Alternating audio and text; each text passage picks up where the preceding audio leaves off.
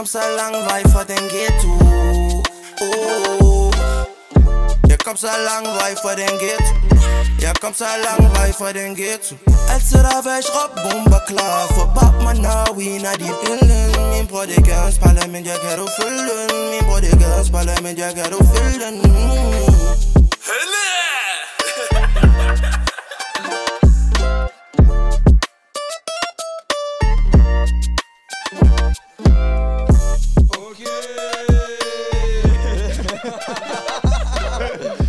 Sker der, Sean? Sker der, Daniel? Er du frisk på det? Jeg er altid frisk. Jeg har faktisk glædet mig til den dag. Jeg hører hans perspektiver.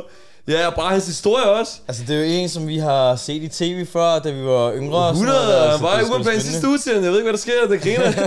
vi har faderen, skuespilleren, tv-verden, Peter. Velkommen til, velkommen til.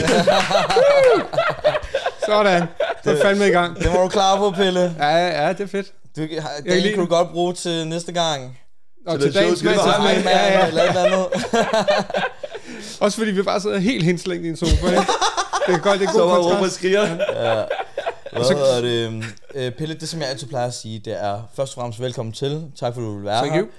Øh, men til de mennesker, som ikke rigtig ved, hvem du er, for vi har jo set dig mange gange, mm. fulgt med i det, du har lavet, og der er sikkert 100 mange andre mennesker, der også har gjort det. Men til de mennesker, der ikke rigtig ved, hvem er Pelle så? Ja, og det er jo et godt spørgsmål. jeg har faktisk samme sofa. Så langt Er det rigtigt? Ja, ja. Ikeas bedste. Det er IKEA hele vejen, ikke? Præcis. Øh, I stedet for at, at have en eller anden svinedyr italiensk sofa, så, er der, så kører vi noget Ikea. Så er der penge til at tage ud og rejse. Ja, det er det. Så, for jeg er en mand, der rejser meget, har altid gjort det. Ja. Jeg synes, at verden er spændende. Jeg har altid haft det sådan. Jeg tror ikke, jeg har haft sådan nogle deciderede mål i livet, andet end jeg vil gerne se hele verden. Okay. Det har været sådan, det har været målet. Ja. Tænk, jeg vil sgu ud og se, hvad fanden der foregår, og hvordan livet også kan se ud. Så er det oplagt at spørge, hvad var det mest spændende sted, du har været indtil videre? Der er kraftet mange. Er det rigtigt? Ja, der er, der er virkelig mange. Øh, Hvad overrasker du så måske? jeg synes, et af de vildeste steder har nok været Japan. Japan? Ja, fordi okay. det er så anderledes, men Ja. på en, altså der er jo mange steder, der er anderledes. Det er Ja, ja, også ja, ja. første gang, man kommer til, til Afrika, er der anderledes. Der er også sjovt, eller sjovt, ved jeg ikke om det er, men det er det der med at prøve at være en, en, en den, der pludselig stikker ud som den hvide mand, og sådan noget. Ja, det er der også en vild oplevelse i. Men jeg synes, det der med Japan var, at det er jo i hvert fald teknologisk set, og sådan på mange lederkanter jo minimum på højde, hvis ikke nærmest har de det vildere sådan end os, og så har du det helt Okay. traditionsbundne ved siden af. Og sådan. Det er bare en helt anden Ja. kultur. Det er fucking vildt. Er de meget åbne til noget? Så- Altså, hvordan er det, når man kommer derover? Eller? En del år, jeg tror det er på. 10 år siden, jeg var der, og der var det svært, men jeg tror også, jeg snakkede lige med en, som lige havde været der, som sagde, at det er, det er blevet noget helt andet, men jeg tror, efter de har lært at snakke engelsk. Hun Okay. havde en teori.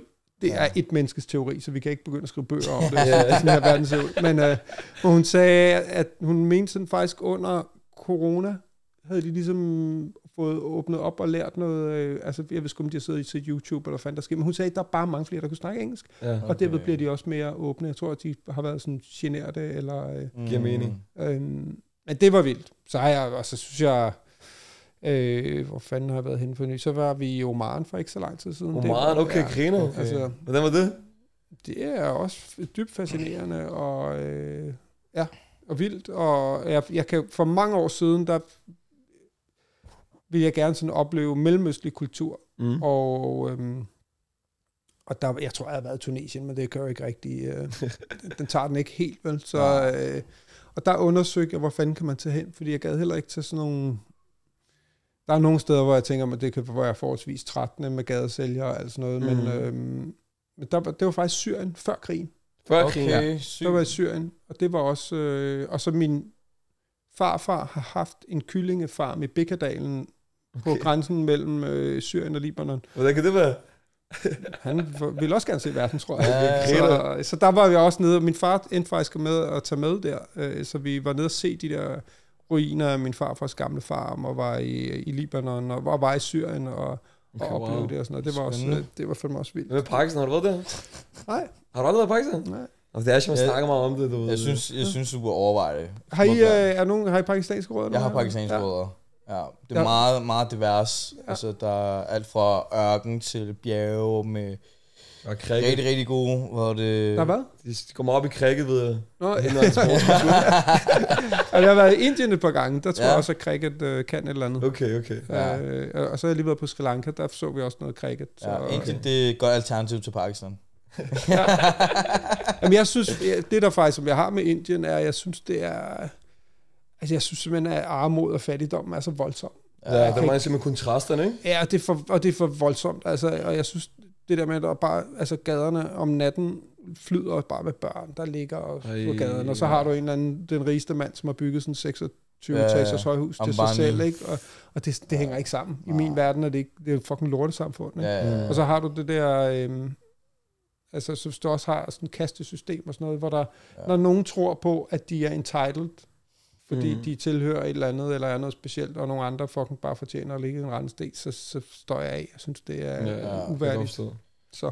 Men hvad vil du sige, altså, hvis, du skulle nogen, hvis du skulle skrive et kort Nå, resume? jeg var i gang med at skrive, eller fortælle mig, så tog vi ud og rejse i stedet for. Men, det, det, men, men jeg tror også, jeg synes, det er så svært at definere mig selv. Jeg, jeg okay. holder meget igen med det, fordi jeg tror, hvis man først begynder sådan at sige, jeg er sådan og sådan, så, øh, så lukker man sig selv inde, så putter man sig Ja, ja, selv er hurtigt klart. ned i en kasse, og så opdager man ikke alle de ting, man også er. Okay. Øh, og jeg har jo, men altså, jeg har bare, derfor, jeg har lavet rigtig mange forskellige ting. Ja, jeg har været, du sagde det også, skuespiller. Jeg startede, da jeg var 10 år med at spille Mm. Pelle Roberen, ikke? Så jeg Ja, har sådan, jeg ja. ja. møder, jeg var lige på Jelling Festival, fordi jeg laver noget nu på sociale medier, der hedder Den Gode Gerning, Ja, og så var vi over og lave det. Og der var sådan ret mange helt unge, sådan nogle efterskoleelever. Ja. Og, og der, der kunne jeg godt mærke, at de anede ikke, hvem jeg var. Øh, og det, Okay. var, det, er sådan, det er ret rart, øh, for jeg har været vant Det til, ligesom, rart. at folk har, har vidst, hvem jeg har været, siden jeg har været ung. Jamen det der med især at være et sted, hvor der er mange mennesker, øh, kan det nogle gange godt være sådan lidt, du er vant til det, men det kan være lidt intimiderende, det der med, at folk kigger, eller er sådan, man får aldrig lov til bare helt at være privat. mm. Ja. Øh, og det er ligesom, Er du bare at fucker op, eller Nej, nej, noget, nej, lægger det- og det- til det? Eller og, hvad? og det er også bare sådan, det er, det er helt fint, men jeg kunne Ja, ja, bare mærke, at jeg havde sådan, åh fedt, her er der bare helt unge, indtil at en af dem kom hen sådan, ah, det er dig fra, øh, fra TikTok, fordi vi laver det der på TikTok. Ja. Nej, fuck man, nu har jeg lavet det. Det er der kommer en ny bølge. Ja, jeg kommer en ny bølge. Og så kom der en anden hen og sagde, ej, min farfar elsker dig. You made it, man. Hvad mener du? Ja, det er det. Så det er det der, jeg er. Altså, jeg, ja. Okay, Men det er ret cool. Det det er måske også meget spændende at, at høre lidt mere. Altså, det, det er måske lidt irriterende at have øjnene på nakken hele tiden, og vide, altså vide, at når du går ind i et rum, så er der større mulighed for, at folk kan genkende dig frem for andre. ja, altså det, det har været vant til det, siden jeg var 13. Ja. Det var sindssygt voldsomt dengang. Og, øh, og det der med, og især når man er teenager, eller ikke engang ved, hvem man selv er, og så alle mulige andre forholder sig til en. Mm. Det, kan, det er jo også derfor, hvis du ser mange børnestjerner, de bliver helt Mm. mm. øh, Så, så jeg, jeg synes, det der berømmelse, det, det kan i hvert fald ikke anbefales, når man er for ung. Det, Okay. Jeg tænker, det er fint nok, når man er mere bakfærdig, så kan det jo, det kan jo også, altså på mange måder har det jo også nogle indbyggede fordele. Det er, er lettere, for eksempel nu, hvor vi laver det her den gode gerning, og gerne vil have nogle sponsorer på, så tror jeg, jeg kommer lettere igennem til en Mhm. marketingchef end, øh, end Peter Ja, klart, Hansen, klart. eller, Ja. eller Ali Ahmed, eller hvem der nu Ja. kunne, kunne ringe. Og, Ja. så, så, så der er, men, men øh, ja, det er i virkeligheden en, en, en sådan en, det er bare en, det er en skør ting, men det er jo noget, jeg bare altid har været vant til, mm. så nu tror jeg bare, nu var, nu kunne jeg lige, øh, nu kunne jeg da i det mindste hænge ud med de der efterskoleelever, så jeg har været så dum at hoppe på TikTok, ikke? Men i forlængelse med det, du siger, ikke? nu er det bare lige for Mm. at uh, komme ind på din rejse. Ja. Du starter med Pelle Robren, Ja. og øh, det er så din, din første, ja, din første store rolle, eller nu er det din første rolle? Ej, jeg havde spillet et teaterstykke på øh, fritidshjemmet, Okay, et teaterstykke på Arena. og så, og så sådan en, en, en hvad hedder det, Oscar-vindende film, ikke? Og ja, det er det. Og så vinder det sådan en Oscar. Altså, det bliver jo kæmpestort. Ja. Og du står og siger med alt det med, at du er ung, og du får opmærksomhed og det her. Altså, hvordan... Ja, kan du, er det, er, vil du sige, at det er mere skadeligt i den alder? Eller, altså, kan du forklare måske den oplevelse, den der... Mm. At lige pludselig bare alle øjne er på dig? Ja, det, det tror jeg ikke, det er ikke sundt. Okay. Øhm, og i virkeligheden, så er det sådan, kig på statistikkerne over barnestjerner, ikke? Mm. Det er ikke særlig godt. Det er Og præcis. kræfter mange, så bliver det ryget i misbrug, eller tager en OD, eller et eller andet. Jeg tror, hvis det var sådan... Øh, hvis du havde sådan de samme statistikker over stilladsarbejdere, så var arbejdstilsynet kommet ud og sagt, nu stopper jeg med at kravle på de her stilladser, ikke? Ja. øh, Okay. så, så der er... Øh, altså det der for, for tidlig berømmelse, eller at man... som i virkeligheden betyder, at man skal til at forholde sig til, det, det berømmer sig en vildt mærkelig ting, fordi det er jo alle mulige mennesker, der forholder sig til en, som man jo ikke kender. Mm. Og derfor skal man til at forholde sig til det, i virkeligheden har. Øh, alle mennesker jo med, begynder at have den mulighed nu med sociale medier og sådan noget. Alle mulige andre mennesker skal til at forholde sig. Det er, jo- det er jo faktisk lidt en grotesk ting, det der mm. med, at, at vi forholder os til nogen, vi ikke rigtig kender. Ikke? Øhm, men der sker noget. Der er noget... Ja, der, der er mange ting, som jeg ikke synes er særlig øh, fedt i det der. Jeg tror, det korte svar vil være, vil jeg lade, lade min egen datter øh, gøre det samme, så vil det helt klart være nej. Okay, Okay. Det tror jeg siger det meste. okay. Der var en eller anden far, der ringede til mig, fordi at, jeg tror faktisk, det også var en datter, der var ved at få en hovedrolle i en stor tv-serie, og de var enormt meget i tvivl, om det var en god idé. Mm. Så sagde jeg, "Men jeg kan, du kan lige få den korte version. Vil du sætte hende op i en flyver, hvis du vidste, der var 50% chance for, at den faldt ned? Okay. Eller bare Okay. 10. Ja. Og det var sådan, det, så det er selvfølgelig den unuancerede korte version, mm. Men, men der, jeg synes, der er for mange, øhm, der er for mange risikofaktorer ved det. Okay. Øh, det er jo ikke et sundt liv. Et sundt liv er jo at finde ud af, hvem fanden er jeg, hvad gør mig glad? Øh, I bedste fald, uden at... Altså i hvert fald måske også at blive klar over, okay, okay jeg er også opvokset i urbanplanen, der er, der er det de her ting, folk kører, der, ja. der er det kasketter på, og fuldskæg og nogle store muskler. men, øh, men er det så sådan, jeg er, eller er jeg noget andet også? Ja, ja, eller, selvfølgelig. altså, så man også bliver klar over, hvad fanden er jeg gjort af? Mm. Ja. Øhm, og jo mere man ved det, jo mere tror jeg også, at man kan...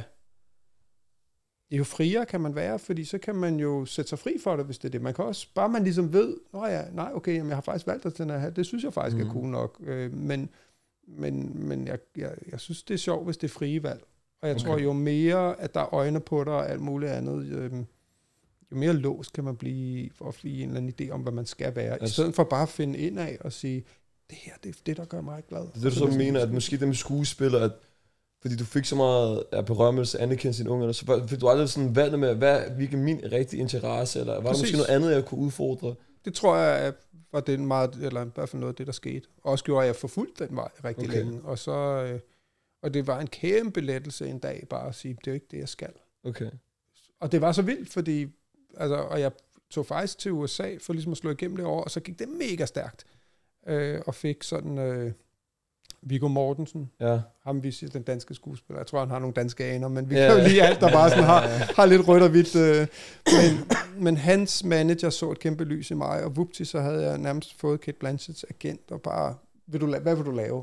Okay, sygt. Okay, vi, Og, og, og det var sådan, før jeg overhovedet nærmest nåede at, at sige, hey, baby, ja, Og, så, og der overvejede jeg faktisk at så helt seriøst at køre ud over en skrant, og så sådan, der er et eller andet helt galt her. men er hvorfor? Noget, jamen, så skulle jeg jo til at leve op til det. Det er meget nemt at have en drøm, Mm. Okay. og så skulle jeg pludselig leve op til det, og jeg havde ikke fået sådan et fundament.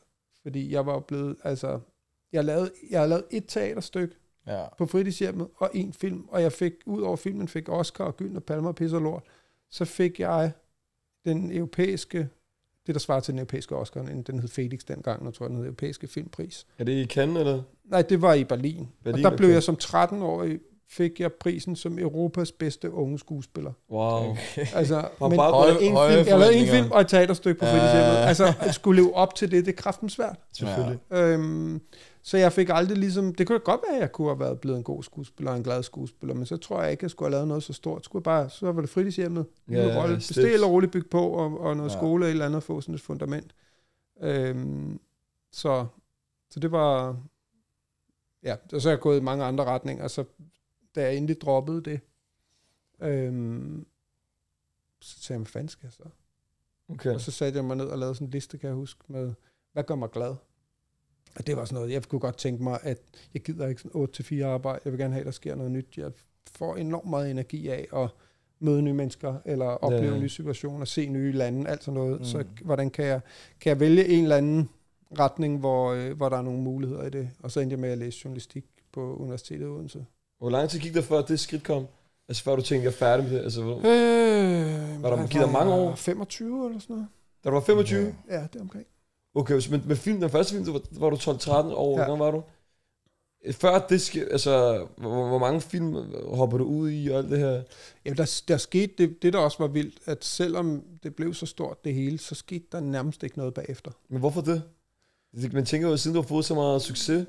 Ja, burde det jo mulighederne komme, ja men der kom noget, altså der var nogle, et amerikansk filmselskab, der gerne ville have mig over dengang. Ja. Det sagde mine forældre nej til. Altså okay. De tænkte, det er simpelthen for meget. Ja. Okay. Øhm, og det synes jeg selvfølgelig var skidesvært dengang, men Mm. øh, i dag er jeg glad for det. Mm. Øhm, og så skete der bare ikke rigtig noget. Det var også svært at stå der. Pludselig havde jeg været kæmpestor, Ja. ja. og så bare til puff. Ja. Øh, Det er jo også med det mentale helbred, insecurities. Ja. I den alder, tænker jeg, påvirket, ikke? det er helt ødelæggende, ikke? Ja. Altså, det er, jo, det, det er jo ikke noget, der sådan lige kilder et godt selvværd, vel?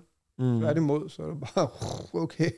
Øhm, så ja, så der, der, der er sket bare mange ting, men øh, alligevel, så blev det det, som jeg ligesom jagtede, for det var jo det, jeg troede, jeg skulle øhm, mm. i mange år, indtil jeg så heldigvis fik lagt det væk, og, og ligesom, ja, tog en grunduddannelse, altså, og fik lært sådan journalistikken og tv helt forbundet, ikke? Mm. Øhm, og så stille og roligt arbejdet med det i mange år. Og Nutritional Happiness, der var du også med i. jo. Ja, men det var jo så, men det var jo efter, jeg havde besluttet mig for, at jeg ikke havde været skuespiller. Der havde jeg godt i gang med at arbejde med tv. Men hvor gjorde du så?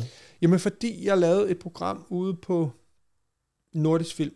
Ja. Og så var der en eller anden af cheferne, der sagde, om jeg ikke lige ville komme over og se, de havde lavet sådan en dummy, sådan en prøveprogram på en ny serie, de måske skulle lave.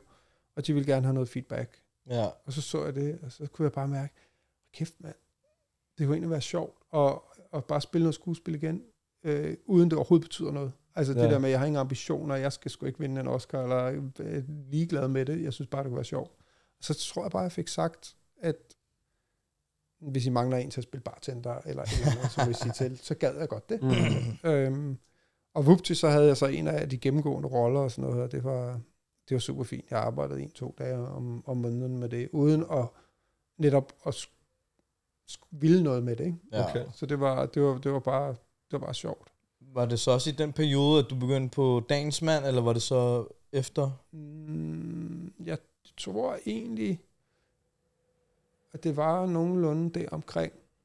Øhm, jeg kan sgu ikke helt huske, Nej. hvornår det var, men dagens mand var jeg faktisk først øh, redaktionschef på. Redaktions, okay. Jeg har Så også, jeg, jeg blev hyret ind, de skulle Ja. lave det nye program, og så, øh, jeg havde faktisk, tror jeg, været vært på nogle ting på Zulu og lavet nogle ting derovre. så noget med noget kebab-tv. Hvad, hvad er det for noget? Ja, ja, det hed engang det Kebab TV. Det kørte desværre lidt for kort. Vi sendte to timer live hver fredag. Ja. Ja. Eller jeg tror kun, vi lavede fire programmer, desværre. Men inden for strøget, inden for en af Shawarma House, eller Okay. eller andet, inden i starten af strøget, sendte vi live hver fredag øh, i to timer. Okay, griner. Det var så? fucking vanvittigt. Hvad skal Det var bare live to timer. Ja, så havde vi gæster forbi, og, Nå, okay, okay. og du ved, lavede alle mulige konkurrencer og sådan noget. Det var, det var helt skørt. Der på et tidspunkt, så virkede min øresnegl ikke. Så, Ja. Fordi der, ja, der sad jo ligesom nogen derude og prøvede at have sådan lidt en idé om, hvad vi skulle. Ikke? Ja. Så, Så er jeg bare prisgivet, og så får du bare køre på. Ja. så Pelle, man kan sige, i virkeligheden, du var streamer før streaming var en ting. Det? ja, det var det jo. Det var så bare på tv, ikke? Ja. Så øh, det var skørt. Det var, det var faktisk, det, men det var sjovt at prøve.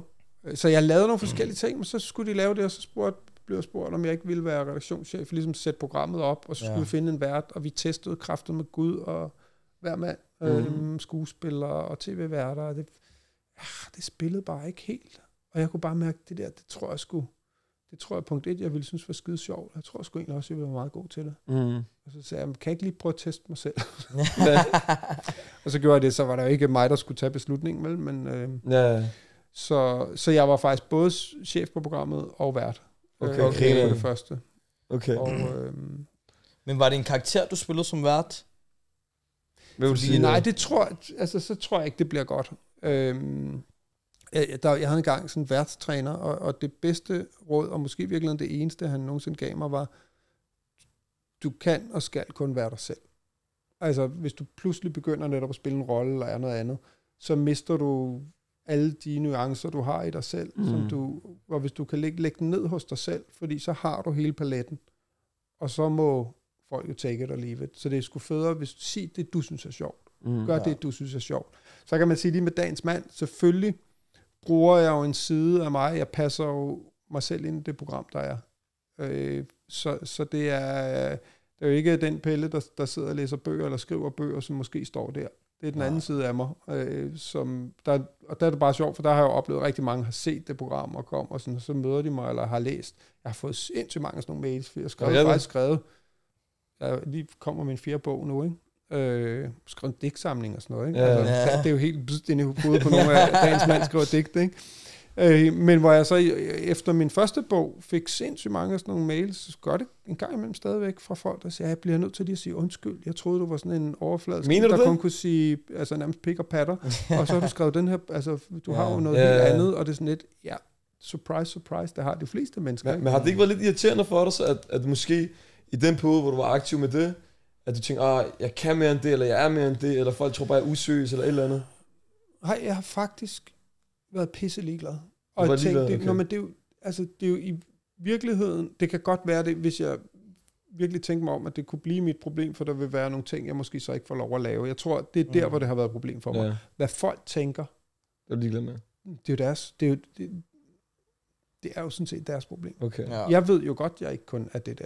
Ja, ja. Mm. Øhm, og og øhm, altså man kunne sige, i forhold til, til sådan, hvis jeg, jeg har aldrig været sådan karriereagtig, eller tænkt, at jeg skulle i en eller anden retning. Det er det, jeg siger, jeg vil gerne bare se hele verden, og jeg vil gerne opleve alt muligt. Mm. Øh, Så ja. jeg har ikke været så fokuseret på, nu skal jeg jo ind og ind og sidde med at sk- skrive noget skide seriøst i weekendavisen, eller nu Ja, skal jeg det her, hvor jeg bliver nødt til at tage den her beslutning, for ellers kan jeg ikke komme derover. Øhm, og jeg tror måske, at det har spændt ben øh, et stykke hen ad vejen øh, i forhold til, har for eksempel aldrig været vært på DR. Og det kunne godt være, at det var, var sådan noget, som jeg har lavet Okay. dagens mand, og det er det, jeg er blevet, blevet sat i en eller anden bås. Du har været på noget God aften, aften eller andet, har du ikke, har du ikke det? Jo, Eller jo, jeg har jo lavet flere programmer Ja, lige på, præcis. på TV2, ikke? Øhm, men lige nu, der, øh, der, der, der laver jeg så, og det er jo det gode ved, nu, kan man, nu er det jo ligegyldigt. Nu er jeg jo uafhængig af alle mulige kanaler og sådan noget, ikke? Så nu har jeg lavet, nu laver jeg det der, den gode gerning på sociale medier, hvor vi, Jeg vil gå det ud på, måske sidde over på det. ja, vi hylder folk, der, øh, jeg blev bare træt af. Øh, Er det også det der med skjult kamera? Ja, det skulle kamera, hvor vi for eksempel helt simpelt lægger en cykel ned, Ja. filmer alt muligt går forbi. Dem slører vi. Det er ikke, selvfølgelig handler det om dem, men det jo handler jo ikke om dem. Vi kan alle sammen have en dårlig dag. Men Ja. så hylder vi den person, der lige går hen og løfter cyklen. Er det rigtigt? Ja. Og nu har vi så, øh, da vi lavede det lang tid, nu har vi så for eksempel fået, lige haft Bilka på som sponsor, så nu lavede vi det med at lægge en cykel ned igen. Det, der var forskellen til for første gang, hvor vi kom ud med blomster og et diplom og bare sagde, hey, øh, var du sej? Så, øh, så fik den person, der rejste cyklen op, sy- helt ny cykel. Øh, Okay, og mener vi- du det? Og vi har lavet det med et stort fjernsyn, og øh, Ja, jeg så det godt. Nej, så, hvor, så ser du øh, i trafikken, så kan du få en ny cykel. ja, nu, øh, Men jeg og, synes, og det så hvis man ikke får den, når der ikke kommer nogen, så lægger man den ned igen. Ikke? Men jeg synes, det er fedt sådan noget, at, øh, at du laver sådan nogle initiativer, hvor du giver igen til folk, og laver sådan noget, noget glad content. Ja. Frem for, når, nu må man ser folk, de prøver at demonisere rigtig mange andre. Mm. Ja. Øh, men her prøver du faktisk at hjælpe folk, og, og på den måde sådan der, give godt budskab videre. Ja. Men jeg har lige et spørgsmål, jeg bliver nødt til at stille. Gør løs. Du fik aldrig dårlig samvittighed over nogle af deltagerne i Dagens Mand, gjorde du? Eller? Hvad tænker du på i forhold til noget, jeg havde gjort, eller noget? Nej, bare i den situation, de er i. Altså, nu kommer de ind, og så er det bare alle, der trykker nej, nej, nej. Altså, det var ikke sjovt. Det synes jeg faktisk ikke var sjovt. Øh, man kan sige, det er, jo, det er jo på en eller anden måde, hvor det er jo godt for programmet, Ja. øh, fordi det er en, der er en vild Men underholdningsfaktor. er i folk det. for real den? Altså, er de for real? Jamen, jeg tror, der var ligesom, der var en udvikling i programmet. Ja. I starten var det faktisk meget ærligt, Ja. øh, og, og det kunne jeg, kunne jeg personligt meget bedre lide. Fordi Ja. det var jo sådan, så kan man være politisk korrekt og alt muligt, men det er jo prøv at se, nu får vi, en kommer ind på en bar, en pige kommer ind, der står 20 fyre, eller omvendt, står 20 piger, Mm. en mand kommer ind. Hvad tænker de? Mm. Det er jo, altså, det gør vi jo alle sammen. Ja. Kigger og siger, ej, hvad tænker du om ham der, eller hende der, eller et eller andet. Første reaktion er meget ærligt. I starten, der synes jeg, der, det, det, jeg godt kunne lide der, var, at det var, det var ærligt, men det gik begge veje. Det var både kærligt, altså det var både det der med, prøv at man, det, det der skæg, altså det krasser, eller hvad fanden det nu kan være, til, øh, til der så vil være en, der siger, jeg synes, du ser mega sød ud med det. Ja, det. Øh, så der, nå, nej, men, der, ja, men der var bare balancer i det. Eller Ja. det, var sådan, det var ikke kun sådan perfidt og ondt, vel? Og så Ja. gik det, det endte bare med at blive enormt skingert, og jeg tror, det endte med at blive meget mere skuespil til sidst. Okay. Ikke noget vi orkestrerede, men altså folk gik ind, fordi de vidste, hvis de øh, sagde noget virkelig øh, langt ude til nogen, øh, eller snakkede altså helt beskidt om sex på en eller anden måde, så ville de få et eller andet program på TV3.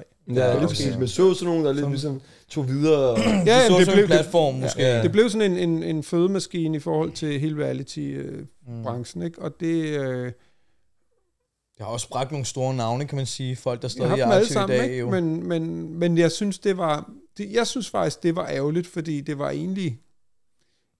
Jeg synes, det var ret fint, det der med at sige, okay, men nu får vi helt svisken på disken, mand. Hvad tænker du? Det er jo, Mm. og der er det fandme også måde at stille sig ind, ikke? ja, Men, men det blev jo til, til sidst, synes jeg bare, det blev lidt dumt. Okay. Ja. Øhm, og fordi så gik der bare sport i at, at svine folk mest til at gøre, i virkeligheden gøre opmærksom på sig selv. Ikke? Men grinte du nogle gange af det? Du ved, måske dit eget hoved, hvor du tænker, det her, det var for griner, eller Ja, ja, det er for vildt, det her. sådan er det jo. At Ja. man, øh, altså, jeg, jeg, der er mange gange, hvor, øh, hvor jeg jo står og tænker, hold kæft, det er godt fjernsyn, det her. Ikke? Eller heldigvis er hvad, ikke hvad er det sjoveste øjeblik? Eller det bedste øjeblik, som du kan huske? Ej, det, prøv at høre, det kan jeg simpelthen ikke huske. Det er så lang tid siden. Okay. Men jeg lavede det. Jeg blev spurgt, om jeg ville komme på Skanderborg Festival her sidste år. Ja. For der har de åbenbart kørt det hvert år siden. Og jeg er blevet På spurgt før. Skanderborg Festival? Ja, altså, altså live, på, eller? Ja, ja, ja øh, nede i, øh, i en af teltlejrene. Som sådan en ting. Og jeg tror, jeg er blevet spurgt før, så kunne jeg ikke. Og så har der været nogle andre værter. Øh, Melvin Kakusa kørte det året før. Eller sådan Okay, noget. Og så sagde jeg, ej, nu, det sker, nu tager jeg den lige. Ja, Ja, med mit program. Selvfølgelig. øhm, og så, så kunne jeg godt mærke, da jeg stod der, var jeg sådan lidt, oh fuck, det er lidt nye tider. Altså, og- det var også meget sjovt at, ligesom at, at opleve med, at ja, ja, det kan godt være, at, at verden er blevet mere politisk korrekt, og der er også Mm. sket nogle, prøv, der er sket nogle rigtig fine ting i forhold til, til, til hvad man kan og hvad man ikke kan. Men, det, men, men der var også bare stadig, man må også godt have det sjovt, eller komme Ja. kom derhen. Og det var, hun var lige så meget med hende, der stod i midten, ikke? Og, ja. Så, Men du har altid tænkt over, ikke? mm. Altså, har de der, nu, nu siger du, du, de her matcher, de, har det nogensinde fungeret efter? Er der noget, du har viden om? Altså, har det funket? Er der nogen, der kommer ud og så... Nu kommer det an på, hvad du mener med at funke. Har de haft et forhold, eller er det bare været... Har de knaldet? Det tror jeg. Det tror jeg er sket. Okay, okay. Øh, forhold, jeg, jeg tror måske, der var et enkelt eller to. Så var der også en, og det var fordi, I spurgte jo også med, om der var nogen, hvor, der var, hvor alle slukkede, eller om det var synd for dem, eller hvad fanden. Ja. Øh, og der var en, han var advokat eller et eller andet, og der slukkede alle, og det var bare sådan, hvorfor fanden slukkede det sammen for ham? Mm. Mm. Øhm, og så havde vi en kvindelig klipper, som ligesom var der. Og så endte vi med, at de røg på date. Okay, Okay. Der var ikke nogen, der ville med på det, og så, jo, det ville Okay, okay, hun gerne. Og de blev kærester, nok. så det var ret sjovt. Okay, så der er noget positivt. Øh... Ja, ja. Okay. Du siger også, at du snakker om, du har skrevet nogle bøger også. også Mhm. Du har de fire bog, som du siger. Hvor, hvor- hvordan kommer det, og hvad har det handlet om, den rejse derfra? Øhm, jamen, altså, den første bog handlede jo om en rejse, en personlig rejse, som handlede om, at min kone og jeg ikke kunne få børn. Ja. Øhm, og, og ender øhm, med at adoptere vores datter. Og, og, så, og det er bare en vild proces, det der med, øh, med barnløshed, og ikke at kunne, især når man, ligesom jeg havde ligesom opdaget tidligt, at det der med at blive far, det ville være det største, jeg kunne opnå, og det, Mm. der ville ligge noget helt magisk øh, i det, både mening i forhold til livet, og lykke og, og kærlighed. Øhm, så det, det vidste jeg bare, at det, øhm, hvis jeg ikke blev det, så ville jeg misse måske det allervigtigste i Mm. livet overhovedet. Ja. Øh, så det var ligesom også det, der var på spil, og så tog det os bare seks år øh, at blive for undskyld. Så jeg losser dig under bordet. øh, så tog det os bare seks år at blive forældre, og det var, det var en vild, det var en vanvittig kamp. Øh, Ja. Og vi følte os meget sådan alene i det, og det var, og havde egentlig kunne godt have tænkt os at have nogen at spejle os i, eller noget, og, og så, øhm, så tror jeg lidt, at der, der var to ting i det. Det er en bog til vores datter, Mm. øh, fordi når man adopterer, så har man jo rigtig meget sådan bagage med, der er jo nogle, nogle slutninger, som ikke er fortalt endnu, og en masse historie, og alt, hvad man ligesom kan, kan dele, som kan stykke puslespillet sammen, er bare skide godt. Øhm, så, så jeg vil gerne give hende vores historie, frem til at vi fik hende, så hun kunne forstå, hvad fanden, Mm. hvad, Mm. hvad, hvor, ja, hvordan nåede vi frem til dig, lille skat, ikke? Øh, og så den anden side af det, som var det her med at dele med, med, med resten af verden, eller resten af Danmark, var, var, øh, var lidt ud fra, at jamen, vi, vi synes selv, at vi havde manglet sådan en bog. øh, og noget at spejle os i. Og nogle gange, når man ser, at der mangler noget i verden, jamen så kan man jo sætte sig ned og græde over det, eller så kan man gøre noget ved det. Mm. Det er lidt det samme med den gode gerning. Fucking irriteret over helt bogstaveligt, at øh, noget så simpelt som, at hjemme ved os, så er der nogle steder, hvor der lige kan holde to biler, hvis mm. den første, der parkerer, tænker sig om. Bare lige det holder, ja, det hold øje med den der fucking gule klat Ja, der. Hvis du kører lige frem til den, kan du holde en bil mere. Ja. Jeg bliver vanvittigt oven i hovedet, når der holder en midt i. Også, jeg synes, nå, men det er bare så asocialt. Det er bare Ja, ja. sådan et... Og det Det er, er lidt ikke? Jamen, og det i virkeligheden er det jo bare et udtryk for en større ting, som jeg synes, der er meget med, at man kun lige tænker på sig selv. Ikke? Ja. Og det er sådan, tænk nu på, du er, I'm sorry, look around, du er ikke det eneste menneske i den her verden. Mm. Hvis du tænker lidt på andre, så bliver det bare en sjovere verden. Ikke? Ja. Øhm, og det var så en anden ting, hvor jeg så tænkte, hvad kan man gøre ved det, og så begyndte jeg at gøre, gøre det. Øhm, så jeg tror, jeg gør flere og flere sådan nogle ting, som, hvor, jeg, hvor jeg synes, det skal, at det giver mening, eller det er drevet af. Mm. At, øhm, ja, så, så, men det var derfor, så skrev jeg den bog, så kom den ud, og så gik, den, øh, så gik det vanvittigt godt, og så fik jeg lyst til at skrive noget mere. På et tidspunkt skrev jeg nogle digte, det var kun for min egen skyld. Ja, ja. Øh, bare fordi de tænkte, at det kunne være sjovt. Øhm, og Apropos service, der var du lige lidt service der, hva'? Ja, ja, ja, men det, men det var jo sjovt. Altså, og så kan man også sige, der er jo alle mulige... Altså, man kan jo blive meget hurtigt hæmmet af at tænke, ej, skal man ikke være helt litterær, øh, super stærk, eller øh, for overhovedet at kunne det, er der ikke en masse regler og sådan noget. Sige, says fucking who? Ja, Jeg sætter der mine egne regler, og hvis jeg vil det, så gør jeg det på min måde, og så må det være det. Øhm, også fordi jeg har ikke, jeg har ikke gjort det, for at jeg skal bevise noget over for nogen. Jeg gjorde det for min egen skyld. Mm. Og det er et, faktisk et utroligt fedt sted at være øh, i livet, det der med, jeg gør det for min egen skyld. Og hvis, hvis, I, hvis I har lyst til at lytte med, så er det da fedt. Hvis I ja. Kan få noget ud af det, er det også enormt fedt. Men, mm. Mm. men, øh, men jeg gør det, fordi jeg synes, det er vigtigt. Okay. Og måske også derfor, at folk synes, at det er så fedt, fordi at du gør det jo meget personligt for dig selv jo, Mm. og ikke have omverdenen i tankerne. Jeg tror måske derfor, at folk tænker, at de måske kan afspejle sig selv i det, du skriver. Måske. Altså, jeg, jeg tror jo faktisk, at på en eller anden måde, det kender man jo også fra sig selv, at når folk gør noget, hvor man kan mærke, at de virkelig mener det. Altså, der er forskel på at komme ind på en McDonald's, som er designet til at få dig til at komme ind og købe alt muligt, øh, Mhm. eller komme ind i en eller anden butik eller på en café, hvor der er nogen, der har lavet det sted, de allerhelst selv vil komme.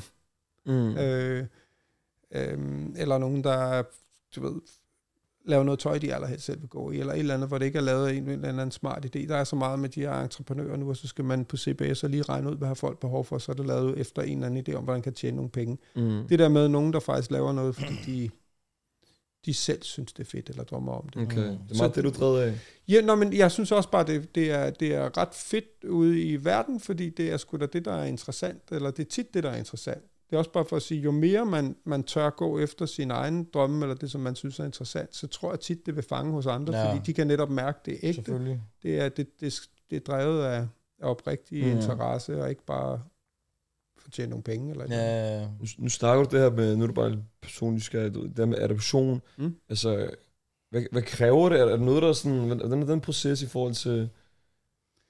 Åh, det er, altså, jeg har skrevet en hel bog om det, så det Ja. kan blive et meget langt svar.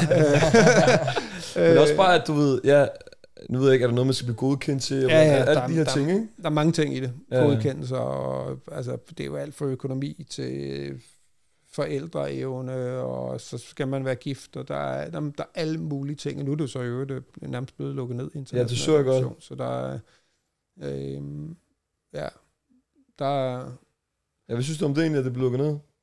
Øh, ah, det er faktisk en længere snak. Okay, okay, okay. Øh, Fair nok. Ja, hvis jeg skal være helt ærlig. Og der er så mange, øh, der er også mange sådan, i voldsomme modstandere af adoption og sådan noget, som jeg synes er, Ja, ja. det kan blive meget, øh, det kan blive, det er en ret vild, øh, det er sådan en vipserede, man kan sætte sin hånd mm. ned i. Okay. Øh, og det har jeg, Har, man, har du også mødt det? Eller er der noget, man... Ja, ja, det har jeg i den grad mødt. Øh, også okay. da jeg skrev min første bog. Der, altså, der fik jeg sådan nogle adoptionsmodstandere efter mig, fordi de bekriger alle, der ligesom bare taler lidt positivt for Mm. det. Så, Okay. øh, Men det er og måske... der har jeg det sådan lidt nu, hvor jeg gider, altså, Interessant, ikke noget, jeg har tænkt over. Jamen, jeg vil hellere, altså, jeg har verdens dejligste datter, og, og vi har en virkelig, virkelig skøn familie, og det koncentrerer mig sådan set bare om. Mm. Øh, Mm. og, og i virkeligheden, jo jo, vi er sat sammen på den måde, og jeg synes også, at det er, det er vigtigt med, at vi også lige for mig, der handler det bare om at være en, en, en familie sammen. Mm. Øh, Selvfølgelig, først og fremmest. Men altså, jeg synes faktisk, det er meget, meget underligt, at jeg har i hvert fald aldrig forestillet mig, at der er nogen, der på nogen måder kan have noget imod adoption. Det synes jeg bare, det, det er første gang, jeg sådan, der tænker over det, at der faktisk findes nogle mennesker, der, Mm. der synes, at sådan noget er, er dumt. Jo, men, men der er jo nogle, altså, det er jo også fordi, der, der er også, der er jo sket rigtig mange, jeg skulle til at sige fejl, men også, der er også blevet svindlet og sådan noget, ikke? Altså, hvor der Ja, faktisk okay. er nogen, der ligesom er børn, der er blevet stjålet og sådan noget, så der er mange, der er mange facetter i det. Ja, okay. Øh, og det er ved Gud også vigtigt, at man kigger kritisk på, øh, på det, men det kan bare meget hurtigt blive en meget skinger diskussion, og øh, så jeg har det sådan lidt, det, ja, jeg vælger langt hen ad vejen ikke at blande mig i det. Mm. Jeg, Men det er faktisk måske også lidt spændende at høre, fordi nu hvor du har været i det offentlige billede i så lang tid, Mhm. og aktiv på sociale medier, øh, hadbeskeder, er det sådan noget, du møder sådan regulært, eller det har du ikke fået så meget af, eller hvordan? jeg synes faktisk ikke, det er så galt. Nej. Øhm, heldigvis, fordi det er, jo, det er jo, jeg synes ikke, det er sjovt. Altså, nu kan man sige, at jeg sagde det der med, at jeg er pisselig glad med, hvad folk tænker, men, mm. Men øhm, For du har jo nærmest næsten 100.000 følgere på Instagram Ja. jo. Så du, det, det var rigtig ja, men jeg synes faktisk, jeg har lidt en oplevelse af, at, altså, at Instagram er et, øh, er et, et faktisk sådan et forholdsvis... Øhm, Det er mere på TikTok, er det ikke? Uh, ja, jeg ved, jeg tror, Facebook eller og på TikTok, Facebook, er der sker, TikTok og Twitter, ting. det er de ja. to værste. Ja, og det, det er jeg kun, altså TikTok er jeg kun på med, øh, med den gode gerning. ikke? Mm. Ja. Øh, og der er mange, der også synes, at det er noget lort, og det har sådan prøv at høre, så se noget andet. I don't fucking care. Haters gonna hate. Så ja, præcis. Øh, men jeg, jeg har ikke rigtig oplevet det Nej. så meget. Øh, nej. Så har der været vi- lidt, lidt sådan med, hvorfor øh, vi skubbet en lille smule til i forhold til nu med, øh, altså der er jo meget aggressivt i forhold til, til konflikten i Israel-Palæstina. Ja. Ja. Øhm, og og, øh, og det men, men Har du fået nogle kommentarer for det også? Nej, jeg er lidt med, hvorfor har du ikke sagt noget? Eller, og Nå, jeg har okay. egentlig været ude og gøre noget. Og jeg også havde sådan lidt, prøv at høre, jeg var nede og løb Palæstina Marathon for fucking 8 år siden. Det er, mm. altså, hvor var I henne dengang? Mm. Eller plus, hvor er I henne, når der sker noget alle mulige andre steder i verden og sådan noget. Ikke? Altså, det bliver hurtigt sådan... Øhm, men, men, og der tror jeg, der kan ske nogle, nogle ret vilde ting. Og jeg kan godt mærke, at jeg, øhm, jeg tror ikke, jeg, jeg gider faktisk ikke, øh, jeg gider ikke, jeg, jeg er ikke særlig stor fan af at skændes, eller, eller være sådan mm. helt, øh, bruge en masse energi på alle mulige kampe og diskussioner og sådan noget. Det, øh, det synes jeg skulle lidt, mit liv er for kort til. Mm. Øh, selvfølgelig synes jeg, man skal ændre ting og være med til det. Jeg tror bare på andre måder at gøre det på. Øh, Mm. jeg kommer snart med et nyt radioprogram, hvor jeg laver portrætter af stofmisbrugere, fordi jeg synes, Mm. det er fucking vigtigt, at man snakker med nogle af de mennesker, der lever ikke bare på kanten, men ud over kanten. Ja, og for, for, for blik for, hvad der også er for nogle liv i det her land. Ikke? Og så sige, det, det er min måde at spille ind Mm. i debatten på. Eller, Mm. øhm, Ja, vi alle sammen har jo forskellige roller og støtter. Ja, og jeg tror bare, at man skal passe enormt meget på det der med at, øh, at belære andre om, hvordan at de skal agere. Ja, Øh, folk vil jo altid have en mening om, du gør for lidt, eller du gør for meget, eller hvorfor støtter du det her, du burde støtte det andet, det tredje. Ja. Så længe man ved, at ens moralsk kompas er det rigtige sted, ikke? Præcis. Ja. Skal vi øh, hoppe videre til... Hvor Er du klar på en lille leg? Jeg er klar på en lille leg. Vi giver dig nogle ord, Mm. og så skal du, nu har du været verden rundt, og kebab tv, og så vi skal lige teste din viden jo. Kør løs. Vi giver dig nogle ord, så skal du gætte, hvilket land det er fra. Okay. Okay? Ja. Du skal bare sige landet. Mm. Og vi starter med Jar. Jar. Jar. Er det sådan, man siger det? Jar. Ja, Hvad sker der, Jar? Hvad sker der, Jar? Øh, Albanien. nej. Det er pakistansk. Pakistan. Hvor er Hvad du? betyder det? Det, det er lidt ligesom Habibi. Som bror. Mand. Ja, okay. Ja. Lidt mere fesen, faktisk. ja, Der er mere svung over Habibi, er der ikke? Nej, det ved jeg ikke, Det er Okay, så vi har en anden en her. Okay? Mm. Bratte. Bratte. Bratte. Min elskede Bratte. Jamen, det er sådan en, en, øh, en fesen udgave af Brother Fra... Det er- det er, bro. Det er rigtigt. Ja, fra hvad? Det er... Vi kan, vi kan vi hjælpe dig, det er Europa. Det er Europa? Ja. Men det er... Du skal jo ikke sige det, man skal jo gætte. Ja. Skal I... øh, er Tyrkiet med Europa? Nå. Er det det, du siger? Det, altså, Nå, er vi så... øh, Hvem havde... Du har lidt kroatiske rødder, så siger jeg Kroatien. okay. Tyrkiet er også lidt Balkan jo. Nej, ikke rigtigt, bro. Det, altså, der er nogen, der Okay, betragter nu, det. nu skal vi ikke men, have en øh, geografisk diskussion her, ikke? okay, apropos det, du sagde. Så er der det her smukke ord, okay? Mm. Sende seviyorum. Det betyder, jeg elsker dig. Det er smukt. Ja. Det kunne godt være tyrki- tyrkisk. Det er tyrkisk, hvad helt sikkert, men. Så har vi, øh, vi har tre mere. Okay? Ja, skyd løs. Ja, hamar. Ja, khamar. Det lyder... Det, det, er det arabisk? Det er arabisk, okay. Ja. Det er god nok. Det er god job. Skal vi nogen steder hen, eller er det... Ja, du kan godt prøve at sige det skydland. Det er bare... Det ved jeg sgu ikke. Det arabiske betyder... Prøv at sige det igen. Ja, hamar. Det betyder æsel. Hvad? Det betyder æsel. Æsel!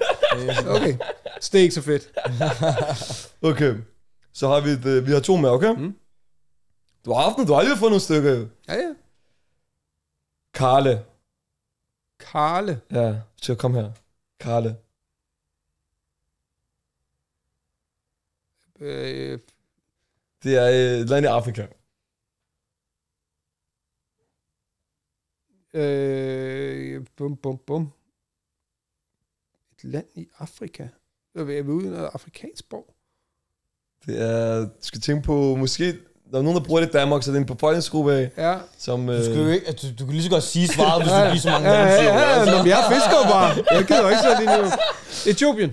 tæt på Somalia, det er Somalia. Østafrika. Yes, sir. Så har vi den sidste her. Det er ikke den sidste. Du skal også komme med den sidste. Okay, så kan vi have en anden sidste her. Den er Haraga.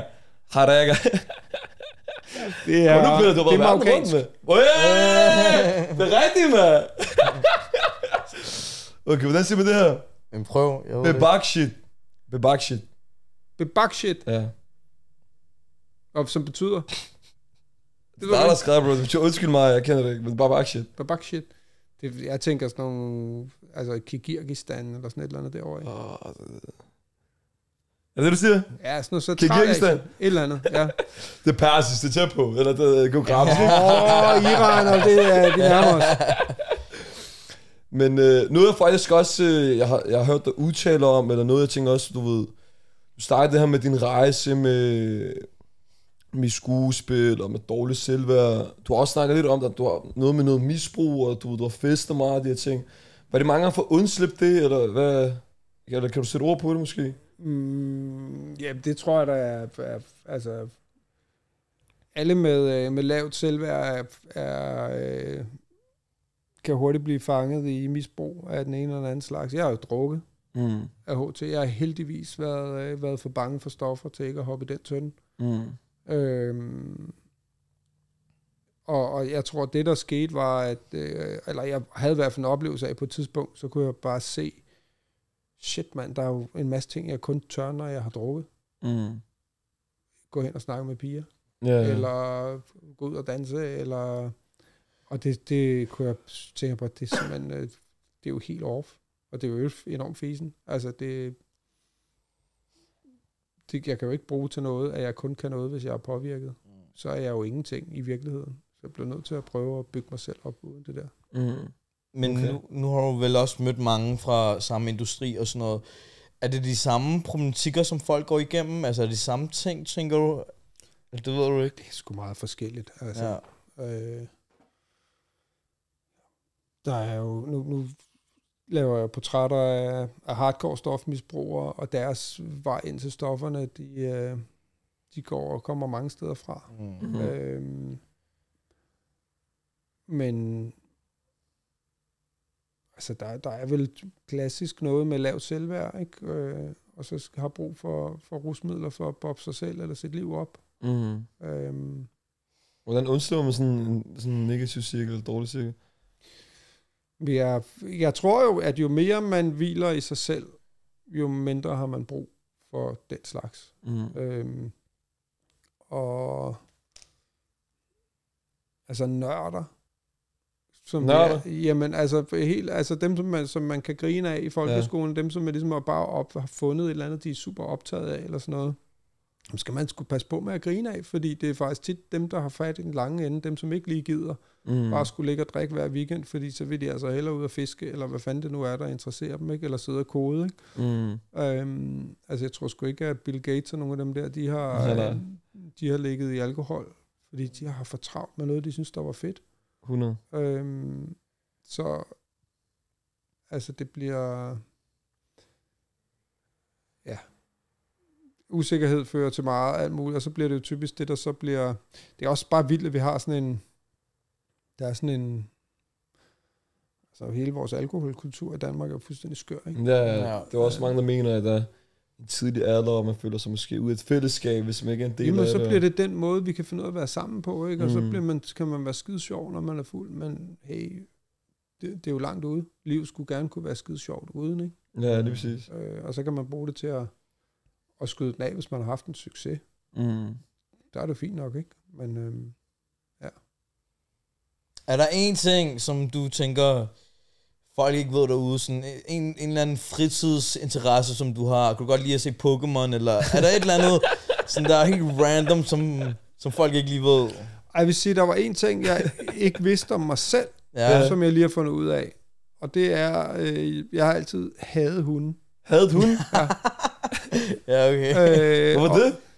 Jeg synes bare, pisse irriterende. Altså, så kommer de hen og knipper ens ben, eller øh, altså, og følger en sådan... Jeg synes, det er... øhm, Jeg ved ikke, jeg, så, jeg har altid synes, det har været irriterende, og, Ja. ja. og ikke, var meget mere til katte. Jeg synes, Okay. katte er fucking cool. De har ligesom, de har deres eget shit. Okay. Er sådan, så kommer de hen og fedter for dig, hvis de skal noget at spise, så går de igen. Det kan jeg bare godt lide. Øh, jeg synes, det, der er sådan alt for meget underdanighed med de der skide hunde. Ja, Øh, så jeg har sagt nej til hund. Min kone ville rigtig gerne have hund. Ja. Og så har hun så fået overbevist med min, vores datter om, at hun også vil. Og så bukkede jeg under for et par måneder siden. Ja. Ej, kom nu, Pelle, mand. Du skal da ikke stå i dine principper. Og jeg fucking elsker den hund, mand. Mener du det? Ja, det er sindssygt. Så Fuldkommen rusjebanesur jo. det er, så, det er så hyggeligt. Ja. Så nu kan du godt lide hund, eller kan du ikke lide hund? Jeg kan godt lide Nu hund. kan jeg fucking elske hund. Okay. Og det er også derfor, man skal, igen, man skal passe enormt meget på med at, at definere sig selv, ikke? Ja. Øh, altså, jeg har gået og troet hele livet, at jeg var kattemand. Og, og nu viste det sig, det slut, hva'? at jeg også er hundemand, ikke? Ja. Altså, Man udvikler sig hele tiden. mm, det er jo det. Ja, Altså, det er... Grineren. Pas på, hvad I... Pas på, hvad I siger og gør? Ja, præcis. Jeg tænker, skal vi hoppe videre til de fem hurtige? Kom, lad os gøre det. Øh, vi har de fem hurtige, mm. og her skal du bare svare sandt eller falsk. Og det skal gerne være hurtigt, så Okay. du skal ikke tænke Nej, så jeg meget. tænker overhovedet ikke. Okay. Øh, den første hedder, shawarma er bedre end smørbrød. Sandt eller falsk? Falsk. Fast med det. Okay. Kom nu, kebab-tv, hvad mener du? okay. So sorry. 29.00 Happiness var urealistisk. På ingen måde. Det er sådan, det foregår i Hellerup. Okay. Pelle skal skrive flere bøger. Ja, ja. Wey! Okay, og den sidste her. Pelle vinder en ny Oscar-pris en dag. Kom nu, Pelle, mand. Du har det stadig i dig. Det ved man aldrig, så ja, ja. Okay. Wey! Iskold. Grineren. Jamen, øh, her til sidst, så vi bare lige bede om autograf. Ja. Hvorhen? Du Det bestemmer. bestemmer du selv. Ej, så vil jeg op. Det skal, det skal ville et eller andet, ikke? Må jeg komme over imellem jer? Ja, det kommer bare jeg- selvfølgelig. Fornøjelse. Tusind, tusind tak. Det vil jeg altid pleje at sige. Er der, ja, hvad byder, er der noget nyt, du, nyt, du, nyt projekt, eller noget fremtid byder på, eller hvad skal man holde øje med? Øh, ja, det, det er der jo. Der er jo. Jeg kører jo videre med den gode gerning, ikke? Det skal Ja. man tjekke på sociale medier. Ja, Og så kommer jeg med øh, et nyt radioprogram et radioprogram, jeg sagde det. til august. 12. august, tror jeg. Okay, Okay. fedt, mand. Og så på Radio 4. Og så, jeg ved ikke, om jeg må sige, nu har jeg sagt det. og så øhm, Ellers kommer jeg med en vil ny bog øh, Okay. 10. september. Okay, der sker der meget så. Ja. Er det så din fjerde eller femte? Den 4. Den fjerde. Hvad er titlen på den? Kære kone, det er vores datter. Okay. Okay. Øh, det her skal du vide, hvis jeg skulle dø i morgen. Oh shit. Hvorfor så dramatisk? Det, men det er faktisk et meget... Øh, det var en meget god titel at skrive ud fra. Okay. Sige, prøv at høre, altså, nu er jeg urban plan, og jeg ved jo ikke, om jeg kommer levende herfra. så, jeg har, øh, så nu har jeg skrevet alle de ting, jeg gerne vil have, hun skal vide. Jeg vidste, jeg skulle herud, jo, så jeg må hellere lige skrive det hele ned, så hun har det. Grineren. Vi har dig, vi beskytter dig Så- herude. Ja, det We got you. Ja, du har mig lige, og så du bor lige på hjørnet heldigvis, så det er jo bare ud og væk. Så- Men altså, jeg vil, jeg vil være ærlig og indrømme, at, øh, at når det er, man ser dig på tv, eller i hvert fald fra dengang, så har man, man måske nogle fordomme omkring, hvilken person du er, og jeg vil sige, i hvert fald efter det her afsnit, så har du brudt dem alle sammen. Nå, det er altså, det, er, det har været berigende at møde en person, du ved, der kan være så personlig og være så åben på samme tid, og så også bare med de livserfaringer, du har haft, og jeg vil sige, at øh, jeg synes i hvert fald, at det har været en rigtig, rigtig fed episode, og lære dig bedre at kende, og, Tak, tak. og lige den anden side af Pelle, ikke? End øh, hvad man har set på TikTok, eller nu har du jo også lavet noget med den gode gerning, men det, det er jo ikke det, som folk går allermest viralt omkring, jo, ikke? Eller hvad vi husker tilbage fra, så mm. jeg synes, at øh, det har været mega nice, og det, det er fedt at se, at du har laver så mange fede initiativer. Ja. Lidt ligesom du siger, at du vil øh, komme ind på det her program med stofmisbrugere, og altså det, det er nice at se, at der er stadig folk, der gider mm. prøve at du ved, komme lidt tættere på folk og, og vise den, den lidt bedre side af, af Danmark. Så det var bare at sige tak til dig. Nå, tak, tak Ja. for at invitere mig ind i stuen. Selvfølgelig, mand. Det er fedt. Du kom til lokalområdet, er det rigtigt? Det er det jo. Jeg bor fandme 10 minutter væk, ikke? Nå, du er fra mig. Ja. Mener du det? Ej, det, øh, jo. Min øh, bedste forældre, min mormor og morfar boede på Amager. Okay. Så, men det var jo, det var jo Lorteøen. Jeg er jo vokset op. Hey, hey, hey, Jamen, det var det. Det var det dengang. Det var det dengang. Du har været mange steder i verden. Ja, ja. Hvis Amager er den smukkeste i verden, er det ikke det? Det er der nogen, der siger, ja. Nej, men det er... Ja, det er cool. Og det er jo... Øh, men det er også fedt, at I laver det her. Tusind Så, tak, øh, tusind så tak. kommer der noget... Øh, det er fedt, der kommer nogle... Øh, ja, det kan jo måske også bryde nogle fordomme ned omkring urbanplanen og alt muligt andet. Selvfølgelig, så, selvfølgelig. Det er også det, vi prøver på, at Ja. ja. skabe noget positivt i verden, ikke? Ja. Men øh, i hvert fald tusind tak for, at du kom. Selv tak. Vi sætter pris på det. Hvis nogen har brug for en hype man, eller en, der lige kan skrive den femte bog til dig, så siger Så er du bare på, til, Peter. så ring til chat, chat GPT. Chat, mig til vores gode venner. Ja, Ja. Ej, tak for og held og lykke med det hele, ikke?